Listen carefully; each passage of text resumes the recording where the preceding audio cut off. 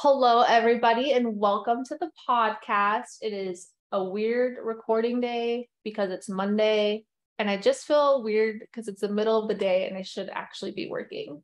I feel very strange too. This was like the only time we can make it work with our schedules this week. If we miss a Thursday, it's really hard to like make up the recording, I've realized. And I don't know why did we miss this last Thursday? Because I went to go see my friend's baby and it was like Oh, this yeah. whole thing and like I should have just kept I should have protected Thursday the way that I normally protect Thursday but I don't know I think it's it's just different when you change the vibes like It is. if I was fine recording like Monday is fine it's just like getting my mental my mental space isn't like prepared even though I said I would do it if that makes sense Yeah, I feel the exact same. It feels very strange, but here we are. Here we are. So, um, we're doing the whole trying to do our topics first thing still. So, you guys are gonna have to for sure give us your feedback on whether you like this approach or if you want us to like kind of get you warm and ready before we dive into things, you know, like lube you up, or do you want us to just dive right in like we're doing right now? So, we'll do it a couple more times and then, yeah, give us your feedback as we're going or wait until we give you a poll either way, we need to know. So, Yeah. on that note, now that you have not been lubed up, today we're talking about toxic relationships, toxic environments, toxic whatever you want it to be. Toxic anything, toxic situationships, but not what toxic situationships actually means. I feel like this is a really good topic and I'm really excited to like dive into it and hear like what you have to say about it all because yeah, I just feel like it's a really good topic. I think toxic anything is a weird topic because it's an overused word.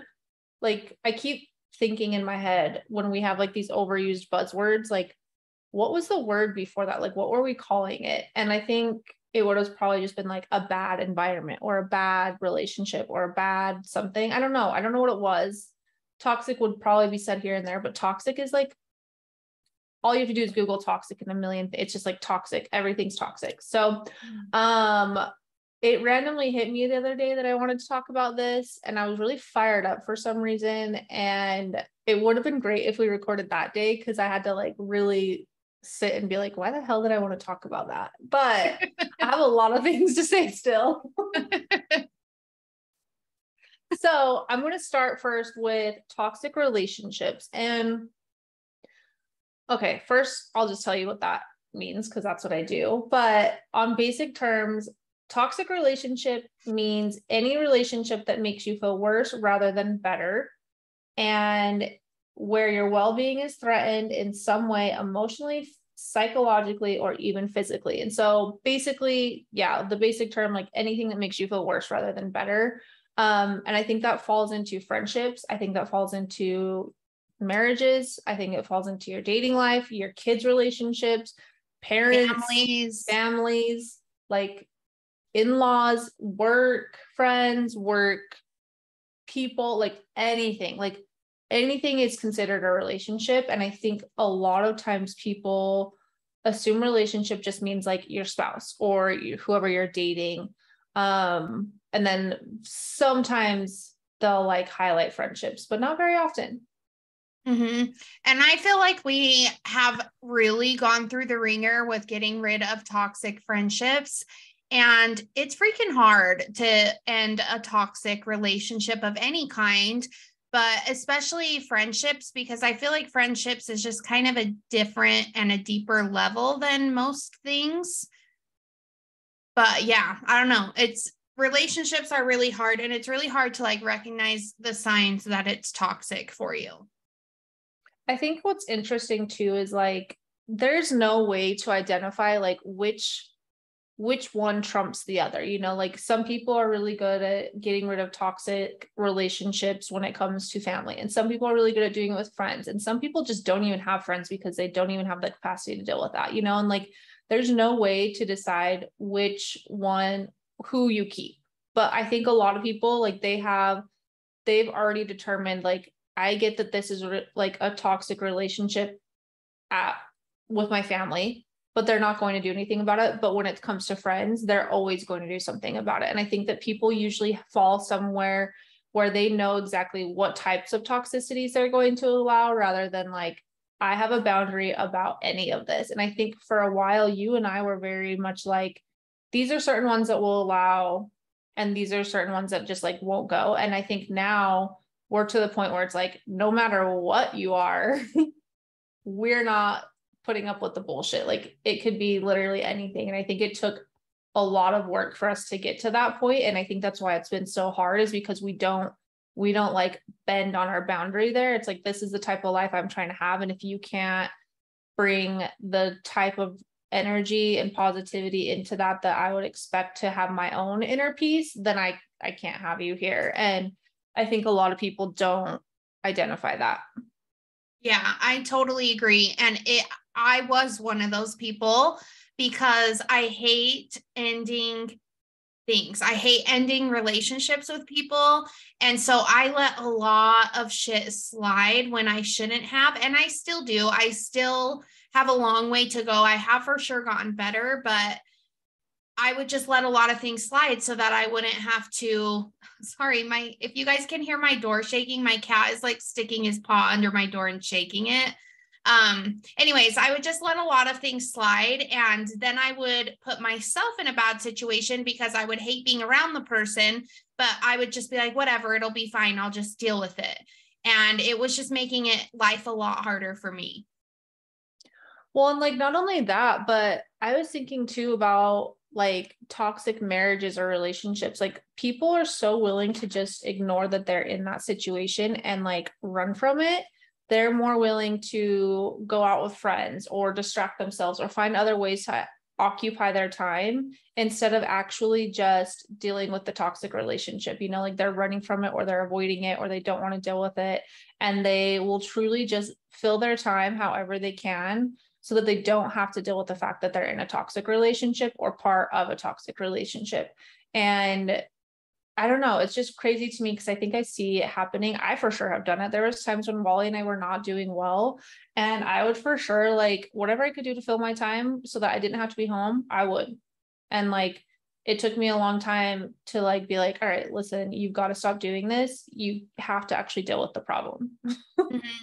And I actually had a situation a long time ago. Um, one of my friends had a really toxic marriage and so she would always be like planning girls' nights. Like it would just be like every weekend, girls' night, girls' night, girls' night.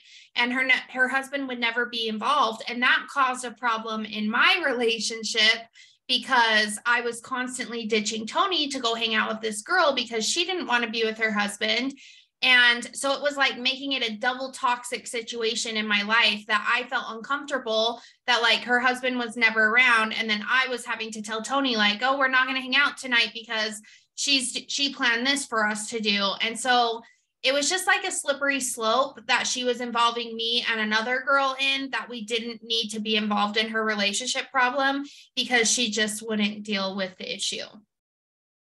Yeah that's actually something that when i was like thinking about toxic relationships that like came to my mind is there's such thing as they don't have to be like a bad person but there's such thing as like people aren't okay being alone or they're like not wanting to face their problems. And so they will latch on to whatever they can and put you in a situation which then creates that toxic environment which i still haven't gotten to that part of it yet. But like that then creates that toxic environment where they they just can't be alone. And they're like however i can like be with somebody and planning something with you and filling my time with you all the time like I'm going to do it because I just can't handle the fact that I'm alone or I'm insecure or you're hanging out with some like so many different things could be going through their mind. But then that then put you in that toxic environment and that toxic relationship. And you're not even realizing it because you think you're just like there for a friend when really this person has like a different motive behind it. They probably don't even fully realize sometimes that they have that motive, but they are doing that. And it happens to us all of the time. Like not us, it like it does happen to us, but I'm saying like it happens to everyone all of the time. Like yeah. there's sometimes where like I for sure I'm like, okay, I love vacationing with Tayler and Tony, does this make us toxic? And I don't think it does because like we have a good relationship, you know, but I do wonder sometimes if people look at us and they think, wow, they have such a weird, like they can't even like handle being with their spouses alone or whatever, you know, like I think sometimes I get insecure about what other people are thinking that they think we're like those people that can't vacation or do something with just our family. You know what I mean? Like, and I think I sometimes worry that my family judges me for that, that they think that I'm doing this, like I'm always vacationing or including a bunch of friends because I can't handle like being alone or I don't want to be with these people by myself. And really it just is I like a good ass fucking time. Yeah. And no one, no one really gives me the credit, I think, for that. I think deep down they're probably like, all you do is care about your friends and you don't want to spend time with your family or us alone. You just want your friends. And it's like, no, I want to have fun. That's all yeah. I care about. yeah. No, and that's important to like realize because if you are somebody like Chelby and I that likes people around all the time, it is something to like check yourself and be like, am I doing this for because I like people around, because I like to have a good time? Or am I doing this to try and get away from something? Which in our case, I don't think so at all, because even when we vacation together, like there's still pockets of time that we're doing stuff with just like you're just with your family, I'm just with Tony. Like it's not like we're constantly up each other's assholes the entire time that we're on vacation together but like it is important to really realize those things in yourself of are you needing this for fun or are you needing this because of something else? But like also maybe a little bit we kind of want to be together the whole time but we allow separation for the sake of separation yeah yeah like when I'm separate, I'm like, wait, when is Tayler coming back? She's still asleep. No. What? no, but I I don't like to I like I don't want to like go about my day sometimes when we are vacationing and like do a bunch of stuff if you're not there because I'm like, wait, like she needs to be here. Like we need mm-hmm. to be mm-hmm. having fun. Yeah. But it really is all like fun to me. But they're like, I think it's just important for people like know your why when you're doing those things, understand why you're over including or under including. Under including is totally a thing too. Like I under include people sometimes because I'm protecting my environment. I'm protecting myself from a toxic environment. And so that's one of the things that I do to like make sure that I can protect my peace and not be in a toxic environment. But it's not, and it's not because I don't like someone. It's just I'm trying to not have a toxic environment. Um, which leads me to what is a toxic environment, everybody? Basic terms the same thing as a toxic relationship, but they happen in a space rather than by a person. So basically, any environment that makes you feel worse rather than better, makes you feel threatened, makes you feel uncomfortable, scared, whatever. It it's just a space rather than a person. So and but this is important to dive into because I am a person that like really attaches to people, places, and things. And so if I like, for example, after my affair, there was places that I couldn't go because it would remind me of the past. And so in my mind, I'd be like, oh, that's a toxic environment for me. I can't go there. There is a certain point that you have to push yourself to be triggered or whatever and go to an environment in order to heal. So, like for me, there were certain places that I was like, I can stay away from this place for like six months, but then I need to slowly start bringing it back into my life because I need to start healing this. Like, I can't just never go to Texas Roadhouse again because that was his favorite restaurant. Like, I need to slowly start bringing that into my life so that I can heal that part of me. So it's important to differ differentiate. I can't say that word between if it actually is toxic forever or if it's toxic for right now, but you need to heal from it. And I think it's important too that you also identify like, is it a toxic environment or are there people in that environment that make me feel like it's a toxic environment? Like, give credit to whatever the toxicity is. Don't like, don't overgeneralize and be like, oh, I hate going there because it's so toxic. Why is it toxic? Is it because of the actual environment? Is it because of the people there? Is it because of your fucking self? Like, you also can be toxic. So you have to identify like what the toxicity actually is. Don't always place blame on someone else or the environment until you know whether it's one of them. And if you can't identify if it's a person or the environment, it's probably you. yeah. And that takes like a, a big smack in the face to realize that maybe the toxic person is you. well, and like I would for sure say, like, I know for a fact when I have been in unhealthy places and I have like not been my best self, I could be somewhere and be like, oh, I just don't like hanging out with this person. And it had nothing to do with them. It was that I actually didn't want to be around these people. And so I was more toxic. I was like a lesser version of myself, even more. And I had to like identify, like, well, actually, like, that's fine if they are that way. Like, I'm actually being a worse person in that environment. And that makes me toxic. Like, I can't just blame everyone around me for how they're acting and not take any blame for myself. You know, like if I'm being similar or I'm making a situation more toxic, that's literally a me problem and I should work on myself. Yeah, yeah, totally agree. And I have also been the toxic person many times in my life. So I totally agree. Um, okay, so I have a couple of things that you can look for in a relationship or an environment that are very, very like basic red flags, I guess I would call them. Um, gaslighting is a huge thing. If you're noticing that you're gaslighting or you're experiencing it, that is a toxic environment and relationship, or you are toxic. Um, breaking boundaries if you don't like something or it's a boundary for you and that's being broken over and over again, that's toxic. Mistakes aren't allowed. So if you feel like you can't make a mistake because you'll be judged or you'll get criticism or just negative backlash, that's super toxic. You can't have opinions and a feeling and feelings that are your own, which kind of ties into the gaslighting thing.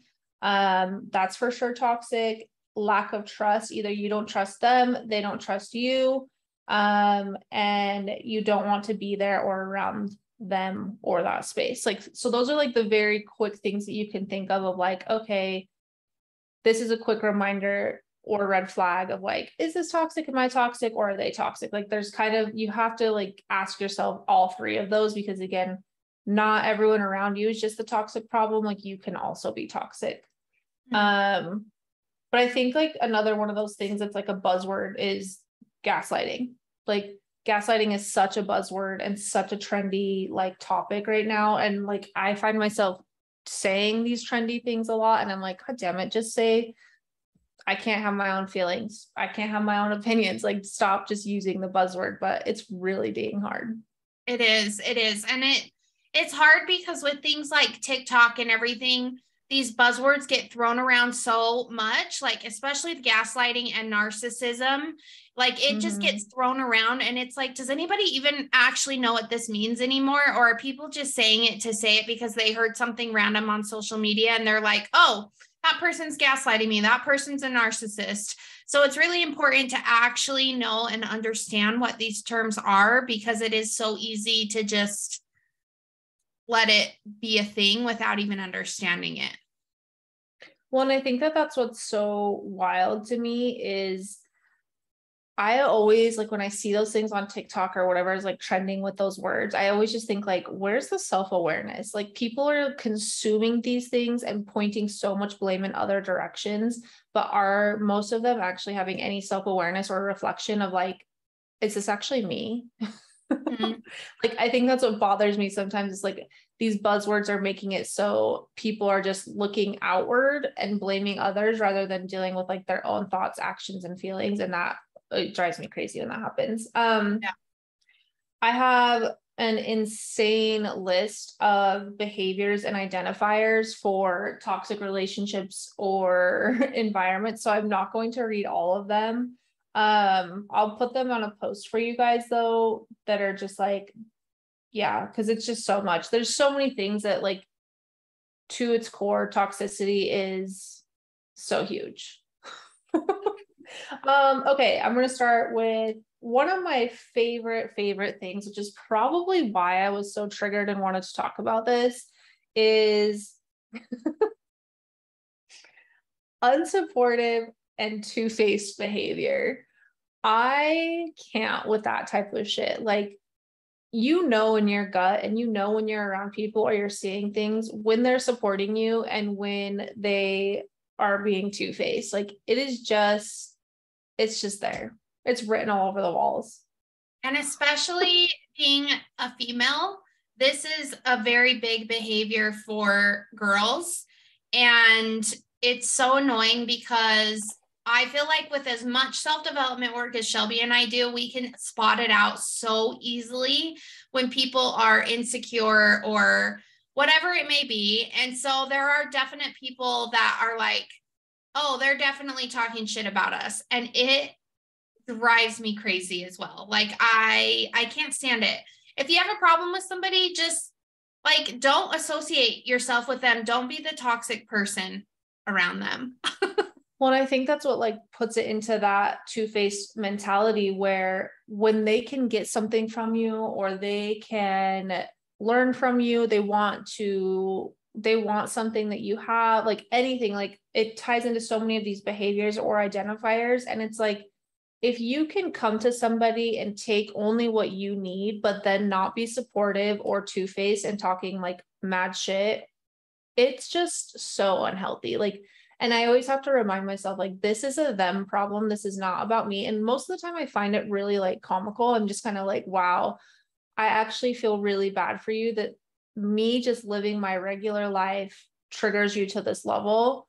But it does hurt. Like, it does cut deep sometimes. You're just kind of like, why the fuck are you like, I actually care for people. Like I really care for people that I interact with. And when I notice that this behavior is creeping in, it's just kind of like, man, I don't know what I've done that made you feel so insecure with yourself, but I I don't think it's cool what you're doing. I think it's really messed up and it always makes me so bothered that people do this, especially females. Like being a female is so hard anyways and I will clap for anyone. Like I want everyone to have their ultimate success and be the best version of themselves and when they cut people down, I'm just like, you're better than that. Like, stop. Mm-hmm. Yeah. um, yeah. Another one that is a behavior or identifier is uh, lying and not being truthful. And this one also triggers me because if you have people in your life that cannot be open and honest with you, that is a huge red flag and something that you should be like, why are we even like wasting time? Like, time is so freaking precious. Like, mm. if you really think about it, like Dave Hollis just died, you guys. People are dying all over, but that one still is like messing with my mind. But um, like your life really is so precious. And like, why are we wasting time at a social event or like hanging out and taking time away from like what we could be doing if you can't even be open and honest with the people you're spending time with like i don't i don't have time for like the fakery bakery. I don't have time for you to just like only tell me some things about your life. I just don't. And if you can't like tell me regular ass shit that's going on in your life and you feel like you have to hide from it because you don't dare tell me we should not be hanging out at totally all. agree. Yeah totally don't follow agree. me don't talk to me. I don't want to waste my time. I don't want to waste your time. Like it's just so strange to me. And like and maybe it's just because i'm so open and honest with who i am. Maybe that's why and i i have to remember like i can't expect everyone to be that open and honest but i don't think i expect everyone to be that as blunt and honest as i think i would be. I still expect them to like tell me what's going on in their life like an actual conversation not like oh yeah everything's fine. Works great. If you if those are your responses go find new people to hang out with. um, if you feel like you have to cover up for somebody or you're constantly there for them and they are not there for you, those are huge behaviors and identifiers. If you covering up is like a huge one, like that's mm-hmm. so toxic. That one's super uncomfortable to me. Um, but I also feel like if you if you feel like you're doing more or you're giving more or you're constantly like reaching out to these people and you aren't getting anything in return like that's your gut being like hey this isn't going well like you need to figure like you need to like work on what that means for you um, we talk about this one a lot too because Tayler went through it a lot. Is if you feel drained or dreadful when you are hanging out with them or about to hang out with them or go somewhere, like if you feel drained afterwards or you're dreading going and you're just like, oh, I don't want to do this, don't do it. Yeah. Yeah. it's that's uh, like a huge, huge thing for me is if I and pay attention, like if you feel exhausted after seeing someone or going to an event, and not just like exhausted because like you just went to an event, like if you are so mentally and emotionally exhausted from the energy of somebody else, that's a really big sign to look further into your relationship with them.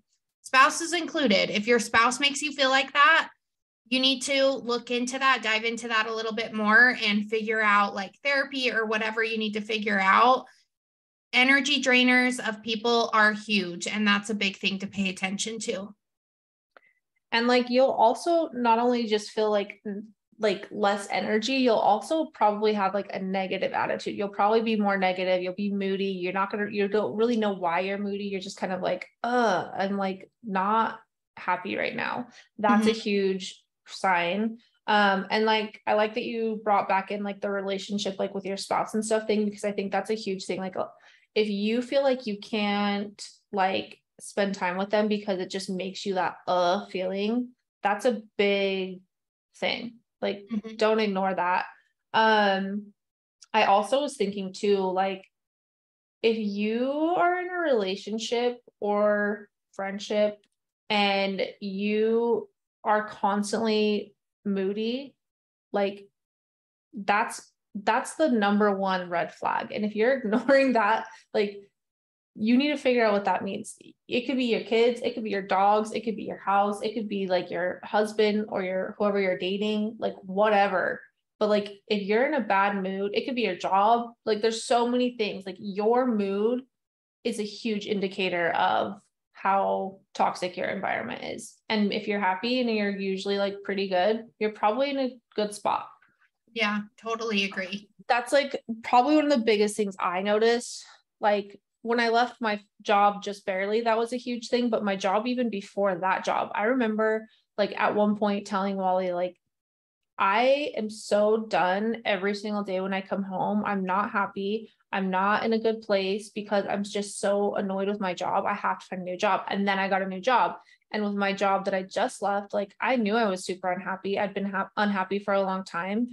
And it's the more space and freedom I'm getting, the more I'm like, holy crap. Like I can't even process how much that was weighing on me. And I knew it was, but I didn't fully appreciate it until I was finally away. And so if you're feeling that, just know like once you get that space, you're going to feel a million times better. Like without a doubt, I know it's scary, but it will totally happen. But you have to identify what's causing that and then fix it. Um, one that really fucking pisses me off, and yes, I'm using the F word for it, is if they embarrass you in like public or they're like trying to publicly shame you, judge you, or make you look bad or anything like that around other people that one is a huge, huge, huge problem and mostly about them. Like mm-hmm. 98.9% of it is about them, and maybe a tiny bit of it is you. But that's like, again, a very, I'm saying 98.9% it is a them problem. Yeah. And it's so terrible. I've been in so many situations like that, and it makes me fucking angry honestly, if you are doing that to people, just stop. And like, if that, if this whatever thing is really bothering you that much about that person, tell them privately. There should never be a situation that you're in a group of people and you're calling that person out. This goes for kids too, because I have seen people like call their kids out in front of a ton of people, like, oh, my kid did this, ha ha ha, like, what an idiot or whatever. Like, respect the people that you are around. And if there's really that big of an issue, pull them aside privately. And if you can't pull them aside privately and tell them, it's probably not that big of an issue. So stop doing it in front of people. It's rude, it's immature, it's stupid. Just stop. Well, I'm like, I've seen people like spouses doing it to each other, like in group settings where they're just like airing some bullshit to everyone. And you're just kind of sitting there like, that oh my so God, what that, do I do? yeah, like, and it's just so rude. Like, you're sitting there, like, I cannot believe you're like literally saying this about this person in front of these people, even though we're not strangers. It's still just like, oh, mm-hmm. that is really uncomfortable. And honestly, it really does take the person that like if it's happening to you you really should stand up for yourself and say something. I will not like i will give jaden so much credit. I remember when he was very first living with us i would like i use social media sometimes i think to like as an outlet to like deal with my emotions. And i would like post something where he was like acting out or he had done something or i was like annoyed or hurt or anything. And i would like just post something vague on my social media about like when your kid does this or something like that. Like I don't even know. I don't even have like an example off the top of my head. And every single time I would do that, he would message me on Instagram and he would say, please don't say this about me, take it down. And I'd be like, oh shit, that probably doesn't feel nice for him. But it took him actually like which again, huge kudos to him for standing up for himself and mm-hmm. saying that. But like in my mind, posting it, I didn't realize it was hurting him. I didn't realize it was like making him less than and it was and i had no idea. And it's like we do those types of things all the time and our frustrations can come across that way and it can really hurt people's feelings and it's also making other people start judging them. And so i think it's important that you if that's happening to you there's been times when it's happened to me and i have not said anything. I'm just like hurt and i'm upset and i'm just like whatever. This is about them. What a dick. And then i probably just like stop hanging out with them but i should be better at just being like this is not cool. I think it's actually really rude and it hurts my feelings. But mm-hmm. it takes a lot of balls to do that. And I it apparently does. don't have very many.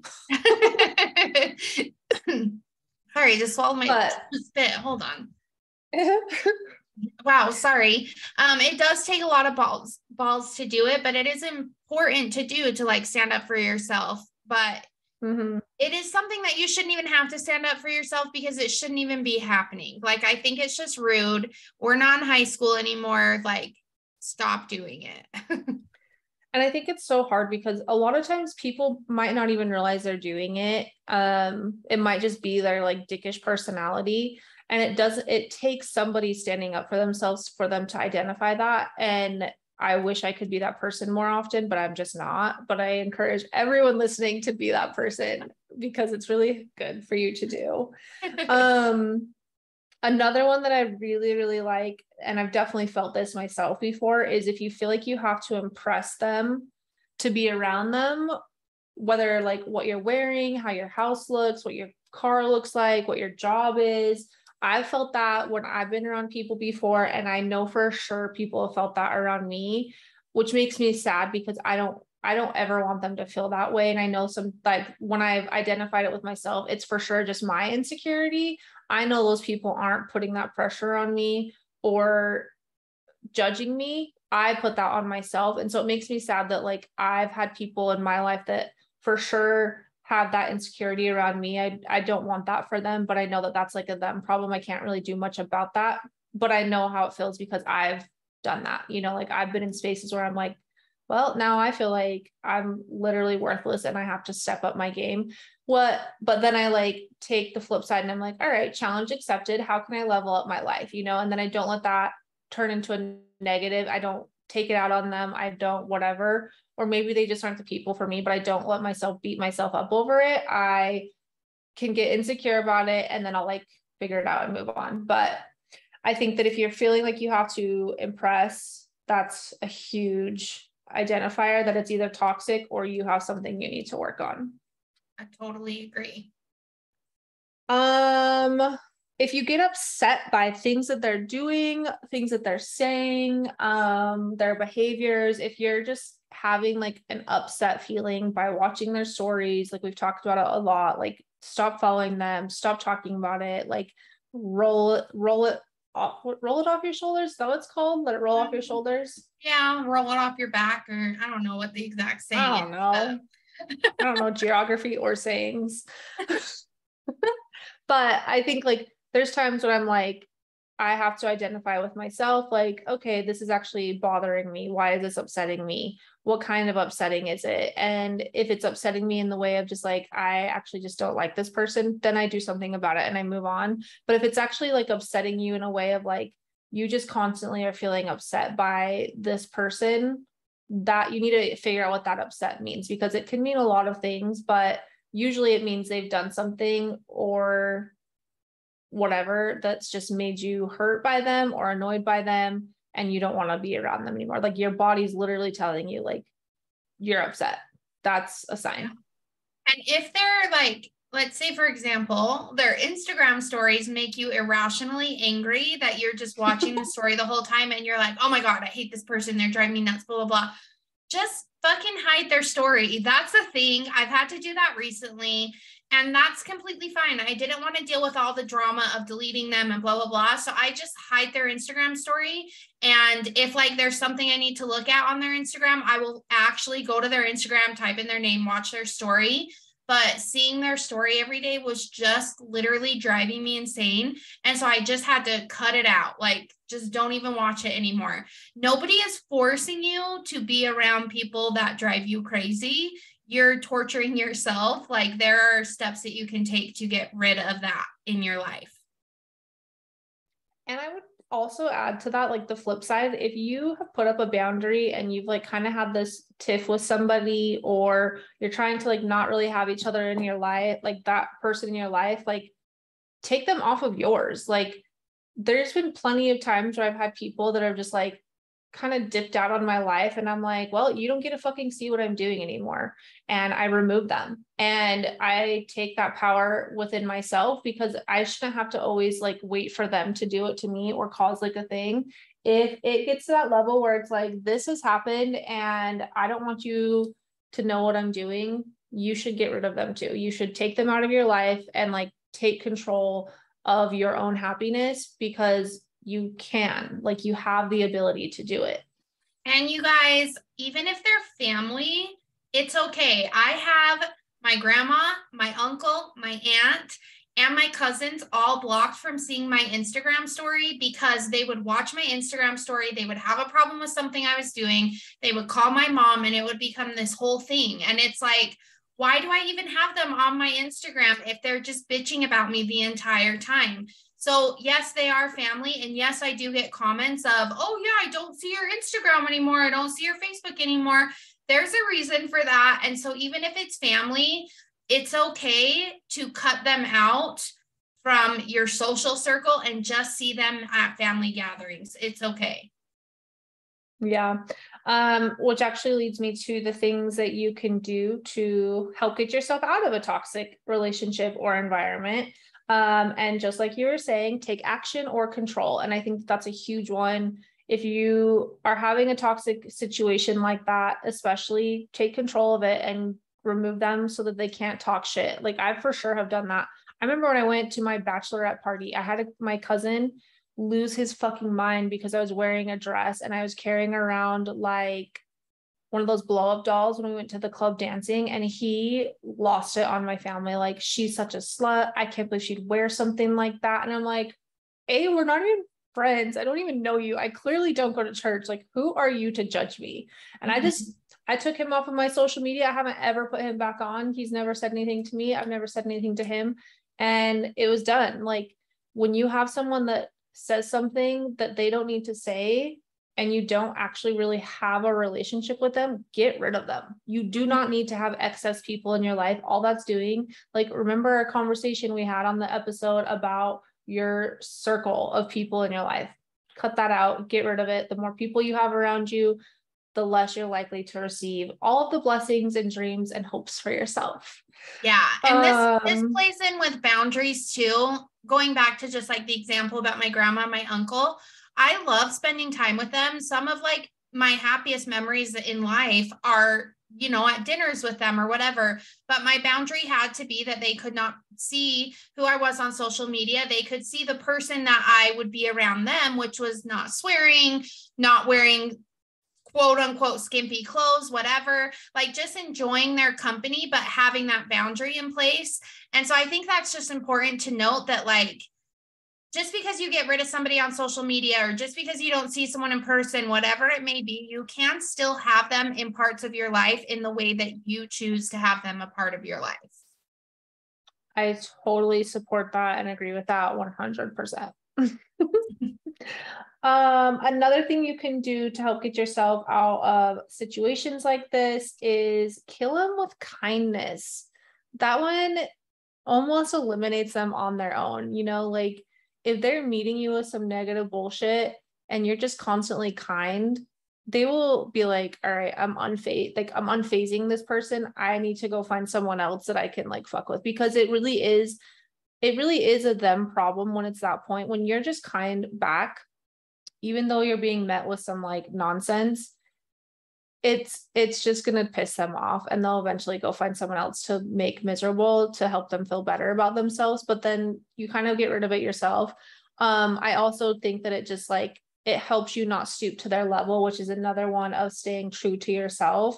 If you don't like the behaviors that are happening to you then meet them with kindness have a little bit of empathy and realize it's not about you it's more about them and stay true to who you are as a person and it will all work itself out. Like the more upset you get about it the more emotional you get about it it's just going to make it worse. And then you'll have this constant like ring around the rosy of like you said this you did this like blah blah blah blah and you're constantly being triggered by each other over and over and over again and it just won't get better. There's been plenty of times in my life where like i've been hurt i've been sad someone said something to me and i'm like what the fuck was that about and then I'll stop and I'll think and I'll be like, okay, this was them trying to make me fix the problem for them, or this is them trying to make this my problem rather than their problem, or this is them taking something out on me.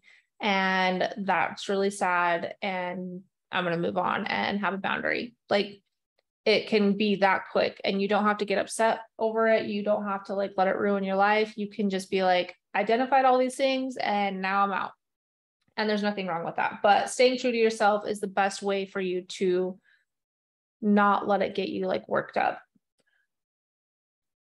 um which I think falls in line with chasing happiness. So I think kindness, chasing happiness, and staying true to yourself are all really good things that can help you get out of a toxic situation. Chasing happiness has been one of the best things I have done for myself. I think my word my word for the year was like joy a couple years ago and like I was just trying to find anything I could to bring joy into my life and it really does shift things for you. It really does.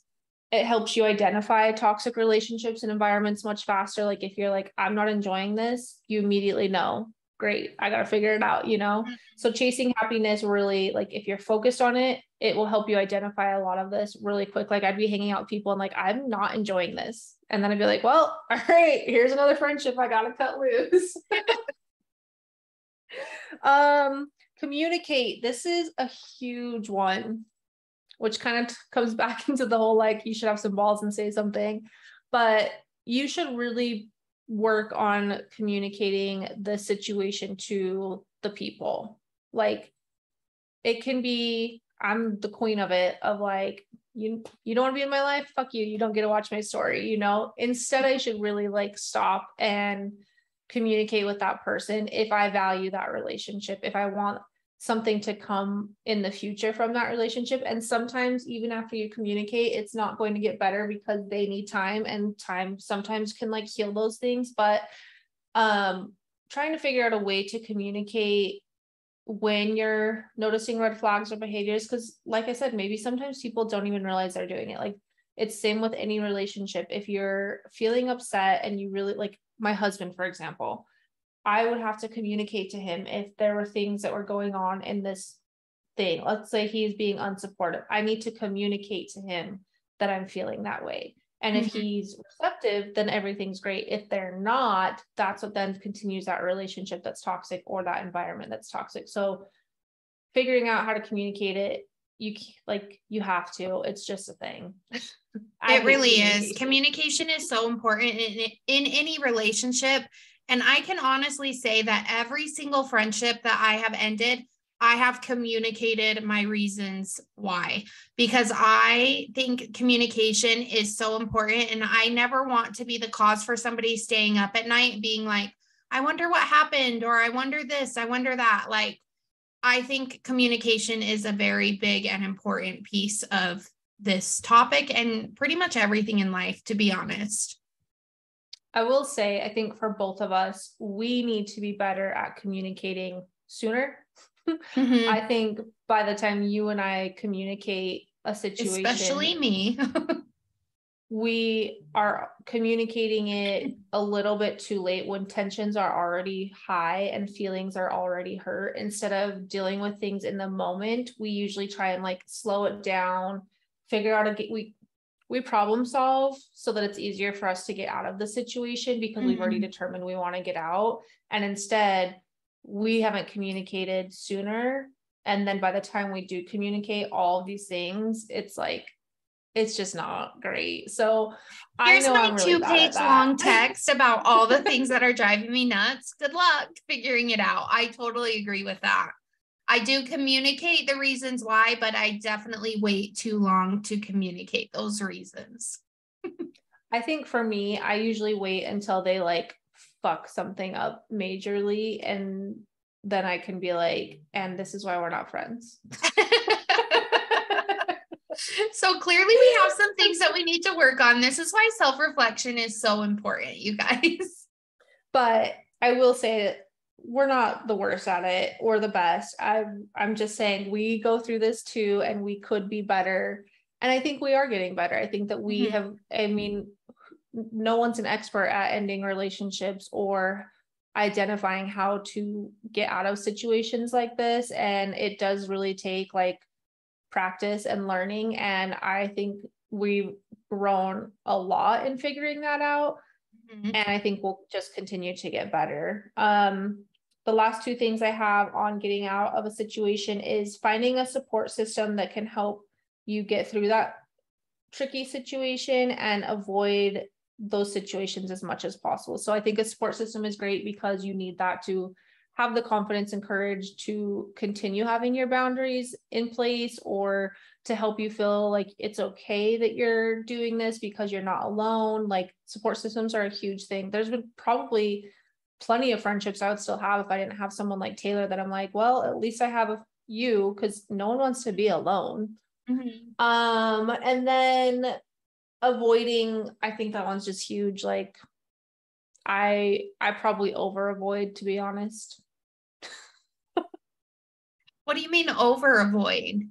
Like I I avoid toxic situations like way mm. more than I should. Like if I know that it's even a slight bit toxic, I'm like, nope. Yeah. I don't want to do yeah. it.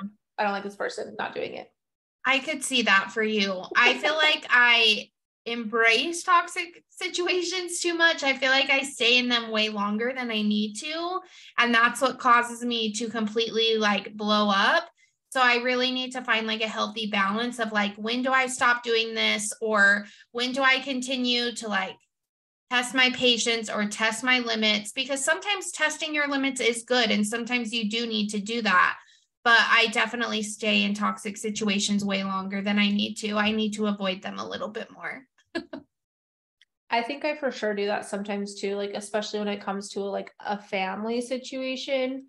I tend to let toxicity happen for the sake of my kids. And that is one that I have tried really hard to identify lately and also work on figuring out when I should cut that situation or communicate sooner or whatever I need to do.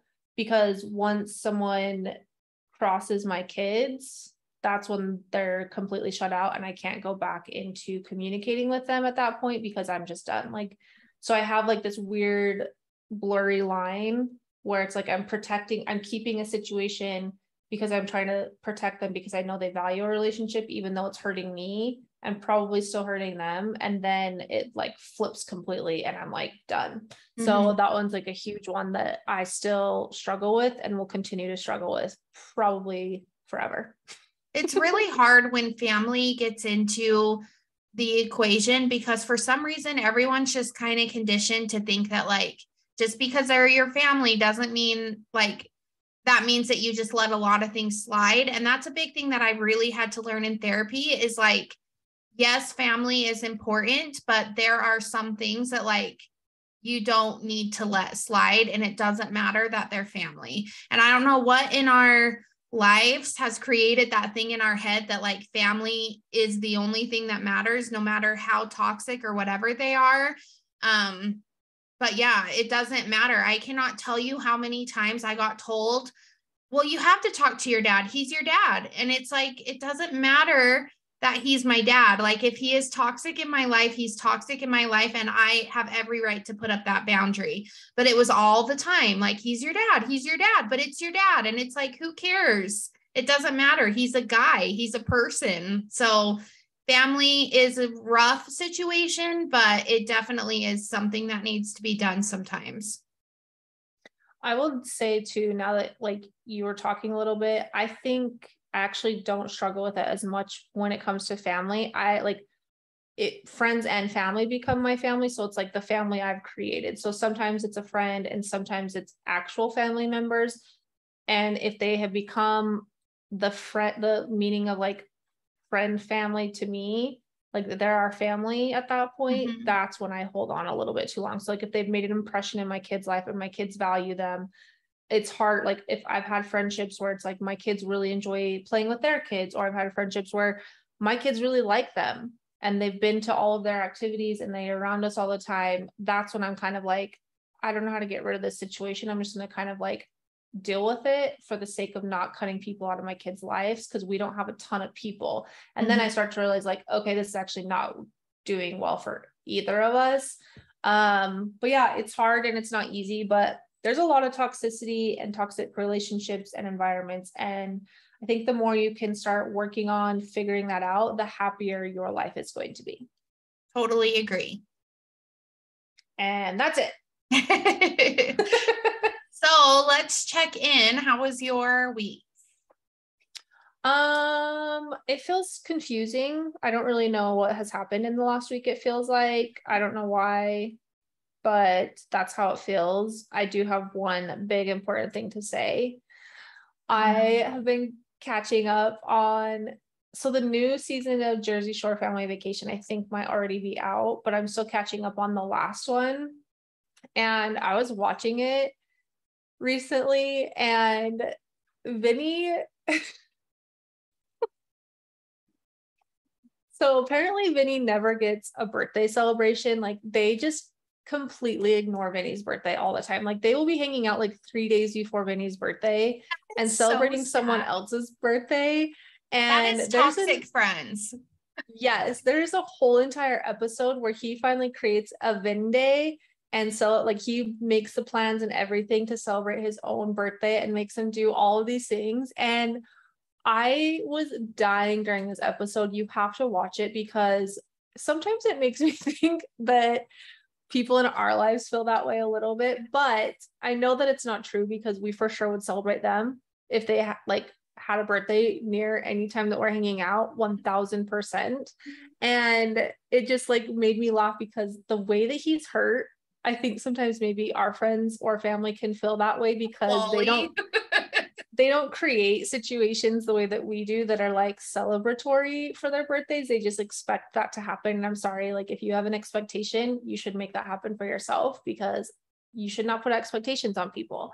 Um, but you have to watch this episode because it is so freaking hilarious. And he does this whole entire thing, and he like there's all these flashbacks that MTV shows of like times when it's like been his birthday or almost his birthday, like a day away from his birthday, all these things, and no one will celebrate his birthday. And it's so sad.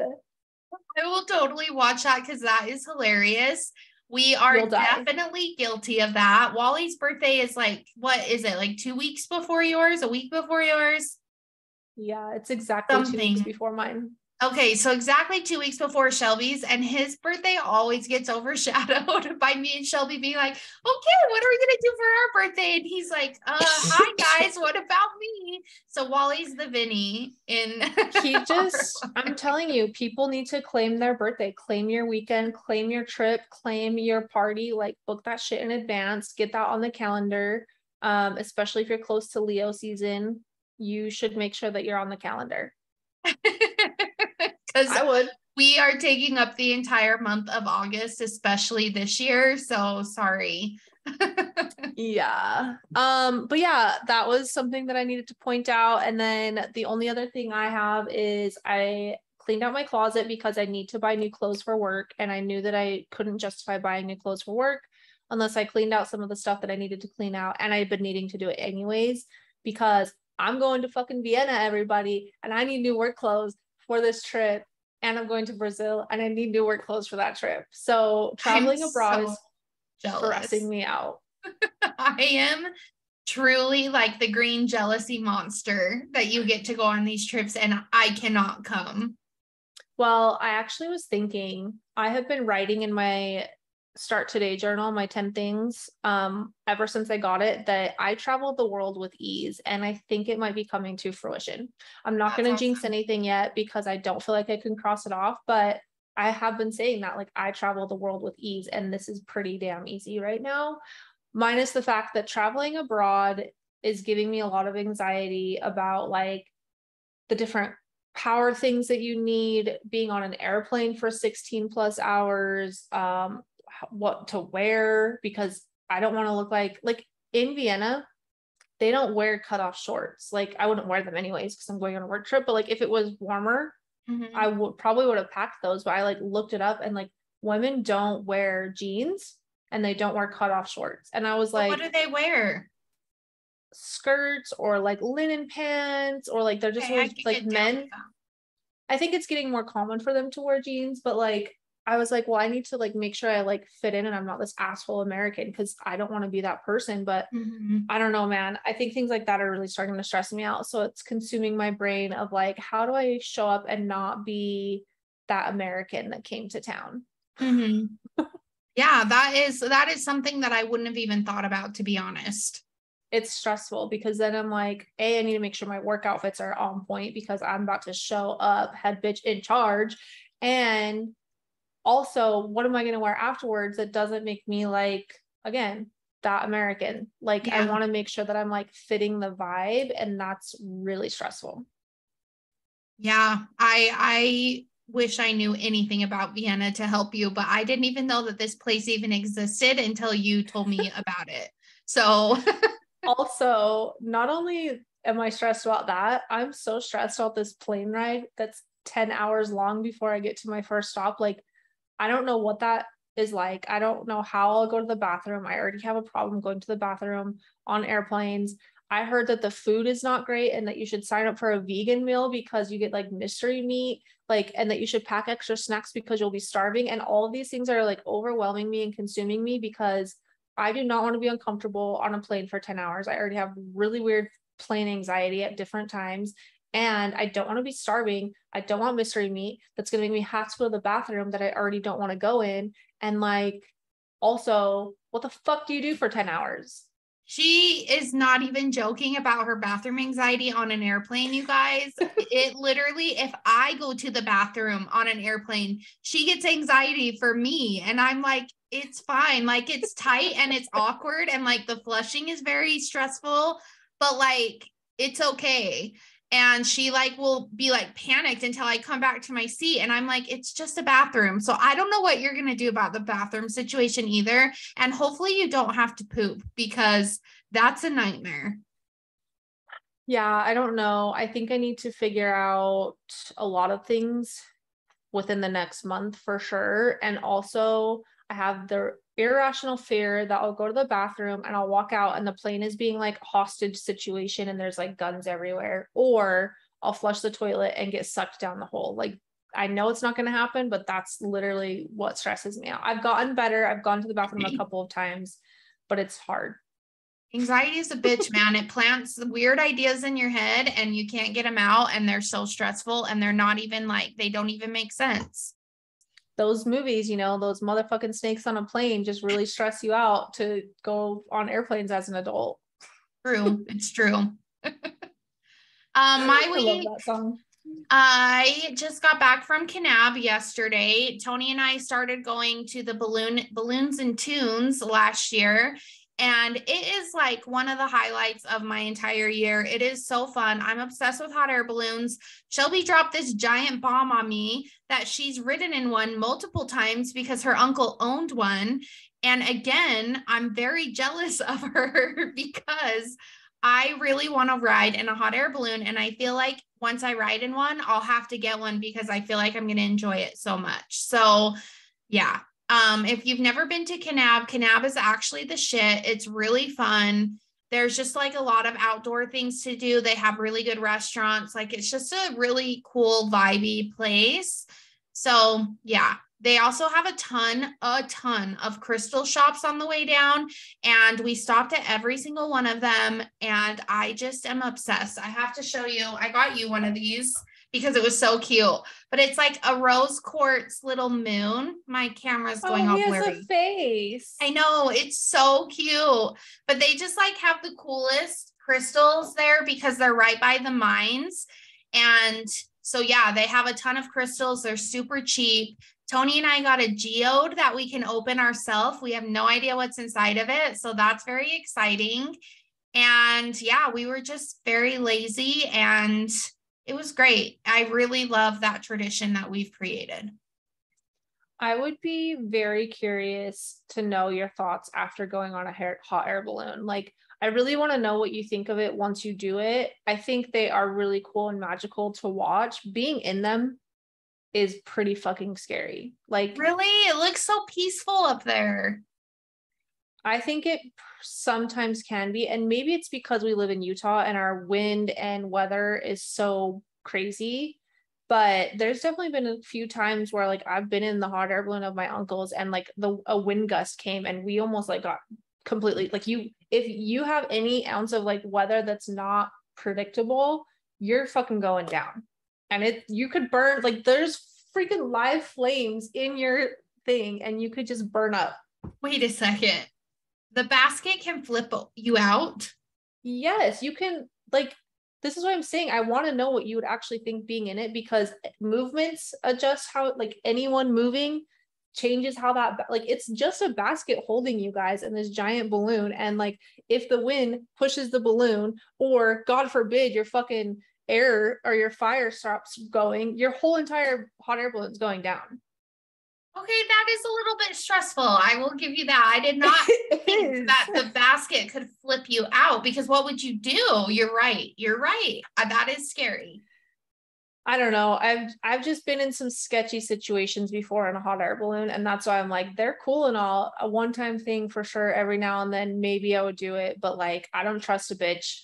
I don't want it but they are very very magical to watch and seeing them like yeah. against the red rocks down in southern utah is so freaking beautiful. I could just watch them all day. Yeah i think they're super pretty um but yeah it's wild. I think they're really cool. We really should go to that one down by Blanding it's pretty cool. Yeah yeah i would be so down to do that. Um i also think it's really cute that you guys like make that a tradition yeah, it kind of started like we didn't even plan it. Like Tony got it for me for Christmas because he thought that I would like it.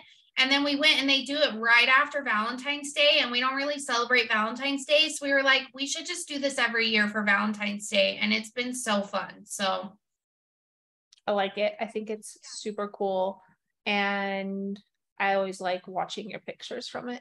Yeah, it's really fun. The drive sucks though I mean, we did make a lot of stops yesterday, but it took us like eight and a half hours to get home yesterday. And that's very, very annoying.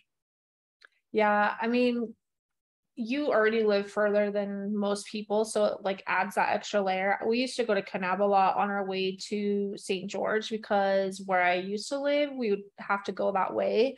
And I think it's really cute town. It is. I love it. And they have this restaurant that has the most amazing lavender martini. And I just need to know how to make it because, wow, it's amazing. Did you take a picture of the ingredients? Yeah, but they have like a homemade lavender syrup. And I don't know how to home make lavender syrup, but I really need to know how because it is so good. I feel like you could Google it and it's probably really easy. Yeah, I think I'm going to try and figure it out because when you guys have like the lavender season in Logan, you should get some and make some. Yeah, I definitely should. And I definitely, sorry, my camera keeps going so blurry. Um, I definitely am going to because I dream about that martini. It is so, so good.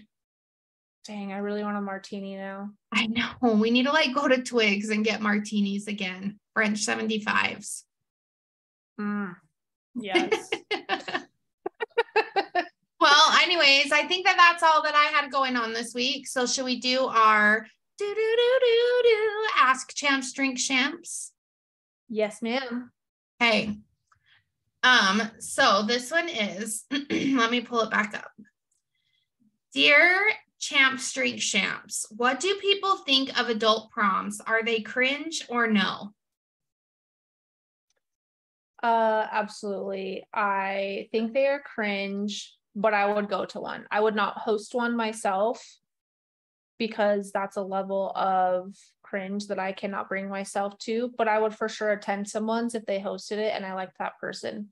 Because really? I would just think it's so fucking funny to watch everyone. I wouldn't most I wouldn't go because I want to go for myself. I'd go because I want to people watch. Yeah, people watching would be prime there. Um I think they are extremely cringe. I would not attend one I was never much of a dance person in high school anyway. Like I only went to two of my proms and I was just like we were there for a second and then left. But doing so as a 30 plus year old adult is so cringe. And I am sorry if you're into this, but I have severe secondhand embarrassment from it. Um, Cache Valley just had one over Valentine's Day, and I saw like a bunch of these pictures being posted and I just was dying. I can't. I can't get behind it. If you think it's cool, do what you think is cool. Do not listen to my opinion, but there's no way you would ever catch me dead in an adult prom. Okay, but question Did you not used to go to things just so you could laugh about it? Like, and I think that's where I'm coming at it from is like, I used to go to people's parties or like situations because I'm like, this is fucking ridiculous and I have to go so I can see this firsthand and laugh. And then I would leave. Like, I wouldn't stay the whole time, but I, I want to experience it for myself. And maybe it's because you have secondhand embarrassment that makes you not want to. I would for sure be embarrassed, but I would love to go watch it and see it myself and then be like, hey, I'm taking some snacks and I'm out. Cause I just, I've always been that way though. I've always been like, I'm totally go down to go watch a dumbass situation so I can laugh about it and then leave. But the problem is, is you would have to participate. You would have to buy a dress or rent a dress, whatever. You would have to dress up for it. Like you'd have to get the like wrist things, the flower things, and like the flower, like the boys. Thing, Maybe my date didn't give me one. Some people are some people at prom didn't get them because their dates sucked. Well, I don't know, but my mom always would forget to buy those and she would be like rushing to all the different flower shops the morning of like, oh my gosh, I can't believe I forgot. I can't believe I forgot. And I was an asshole teenager. I just wouldn't even remind her. And so she would just be like panicking all over Salt Lake City, trying corsage, that's what it's called, trying to find one of those. And I just could not do it as an adult. Like it would it just gives me really bad secondhand embarrassment and I could not participate. I would for sure just show up to laugh and then leave and eat the snacks. But also, I would just, I have my prom dress downstairs. I would just throw that on and I'd be like, I'm here taking a snack, laughing my ass off, and then I'm leaving. But I actually like really am here for all of the dances. I can't wait until Henley is that age because Jaden was just not having it. And I think it's so fun and so cute. My niece is actually coming up here to go dress shopping soon, and I cannot wait to go. Oh, really? Is that why they're coming up? They'll be here because my other niece has a dance competition in Heber, but my niece, my other niece needs to get a prom dress. So, like, I'm for sure going to that. See, and that's where I guess I need to make things more clear. I think it's great if you're in high school. Like, I think if you're into that, you should live all those memories. You should get the dress, you should get the corsage, like all the things, but it should stay in high school. You should not be doing it as an adult. I agree, but you did say that you didn't love going to dances. I was not much of a dance person, no. I am I happy that I went to a few? Of course I am because it is an experience, but like I wasn't sad if I didn't go. I think they're super expensive. They can be. I think people are trying really hard to make them not expensive anymore. Mm-hmm. But I think it's just like the whole thing. I like people go to the dance, they don't really actually stay at the dance. It's just like the whole thing that goes into it that I like. I like an event, I like a theme, and I love when people like get dressed up in dresses. I think it's so cute. Yeah. Yeah. Well, sorry to be the asshole. Don't go to an adult prom, please yeah, if you guys have one and want to invite me, um, I will for sure show up, but just know I plan to for sure laugh about it and think you're dumb as hell. so, anyways, you guys, I think that's our episode. Make sure that you're following us on Instagram, Champs Drink Champs Podcast. We are filming a lot of reels. We are also going to be filming more about our CBD um, from our sponsor, Pure Spectrum CBD. Champs 15 gets you 15% off. It is the real deal, you guys. So make sure you check them out. Like, share, rate, and review all of the things. And we will talk to you guys next week. Bye. Peace out.